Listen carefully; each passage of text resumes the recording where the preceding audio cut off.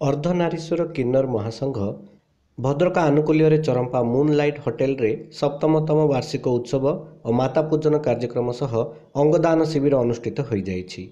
ଏହି ସଭାରେ ପୂର୍ବତନ କାଉନସିଲର ଅଶୋକ ମହାପାତ୍ର ସଭାପତିତ୍ୱ କରିଥିଲେ।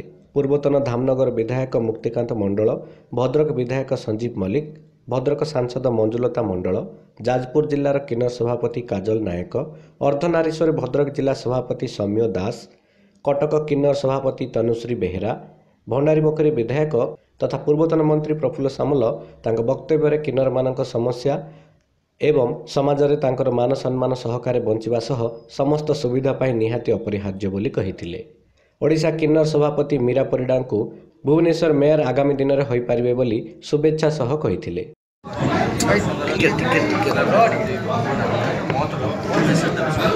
ଦେଖନ୍ତୁ ସମାଜ ସଦାବେଳେ ଆମକୁ ପୁରସ୍କାର କରିଛି।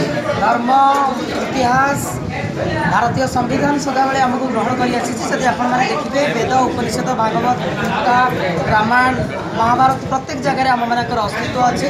ଇଭିନ୍ ସମ୍ବିଧାନରେ ମଧ୍ୟ ଜାତି ବର୍ଣ୍ଣ ଲିଙ୍ଗ ନିର୍ବିଶେଷରେ ସମସ୍ତେ ସମାନ ବୋଲି କୁହାଯାଇଛି। କିନ୍ତୁ ଦୁଃଖର କଥା ଯେଉଁ ହିସାବରେ ଏପର୍ଯ୍ୟନ୍ତ ଆମମାନଙ୍କୁ ମର୍ଯ୍ୟାଦା ମିଳିବା କଥା ମାନ୍ୟବର ସୁପ୍ରିମକୋର୍ଟଙ୍କର ଅ, ଆଦେଶ ପରେ ମଧ୍ୟ ସେଇଟା ହେଇନି। ଯେଉଁଟାକି ଆମେମାନେ ରେକଗ୍ନାଇଜ୍ ହେଇଥିଲୁ ଆଜି ତୃତୀୟ ଲିଙ୍ଗୀ। ଆ, କିନ୍ତୁ ଆମମାନେ ସମାଜ ସହିତ ସଦାବେଳେ ଜଡ଼ିତ ଥିଲୁ ଯେମିତିକି ଆପଣ ଦେଖିବେ ବୁଧ ଗ୍ରହ ଖରାପ ପଡ଼ିଲେ ଆ, ସେଇଟା ହେଇପାରେ କାହା ପାଇଁ କି ଏଇଟା ଆମମାନଙ୍କର ପର୍ସନାଲ୍ ପରସେପସନ୍ ବୋଲି କିନ୍ତୁ ଲୋକମାନେ ଦୌଡ଼ି ଆସନ୍ତି କିନ୍ନରମାନଙ୍କୁ ଗୋଟେ କଏନ୍ ଦେବେ କିମ୍ବା ଆ, ସବୁଜ ଜିନିଷ କିଛି ଆ, ଦାନ କଲେ ସେଇଟା ମଧ୍ୟ ହୁଏ ବୋଲି ପୁରାଣରେ ଲେଖା ହେଇଛି। ଆ, ତାପରେ ଗୋଟେ ଛୋଟ ଛୁଆ କି ଯେକୌଣସି ନୂଆ ଜିନିଷ ହେଲେ ମଧ୍ୟ ଏ ବିଶ୍ୱାସ ଅଛି କି କିନ୍ନରର ଉପସ୍ଥିତି ହିଁ ଗୋଟେ ଆଶୀର୍ବାଦ ଦିଏ।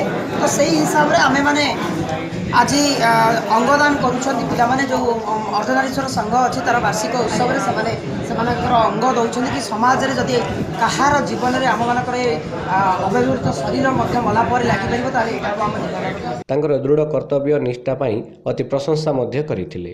ସାରା ଓଡ଼ିଶାରୁ ପ୍ରାୟ ଚାରିଶହରୁ ସାତଶହ କିନ୍ନରମାନେ ଏକଜୁଟ ହୋଇ ତାଙ୍କର ଦାବିପତ୍ର ସାଂସଦ ମଞ୍ଜୁଲତା ମଣ୍ଡଳକୁ ଦେଇଥିଲେ।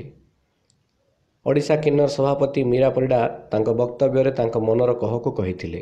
ପନ୍ଦର ଏପ୍ରିଲ ଦୁଇ ହଜାର ଚଉଦରେ ସୁପ୍ରିମକୋର୍ଟ ନ୍ୟାୟ ଦେଇଥିଲେ ଏହି କିନ୍ନର ସମାଜ ସମାଜରେ ତୃତୀୟ ଲିଙ୍ଗ ଭାବରେ ସମସ୍ତ ସୁବିଧା ଦିଆଯିବ। ମୀରା ପରିଡ଼ା କହିବା ଅନୁଯାୟୀ ଏ ସମାଜ ତାଙ୍କୁ ଭରପୁର ମାନ ସମ୍ମାନ ଦେବାରେ ବିଫଳ ଅଟେ। ସଭା ଶେଷରେ ଗାୟତ୍ରୀ ତଥା ସମାଜସେବିକା ଚିତ୍ରାଳୀ ଖିଲାରଙ୍କୁ ମାନପତ୍ର ଓ ଉପଢୌକନ ପ୍ରଦାନ କରାଯାଇଥିଲା। ଭଦ୍ରକରୁ ସାଧନ କୁମାର ଧରଙ୍କ ରିପୋର୍ଟ ଉତ୍କଳ ଖବର।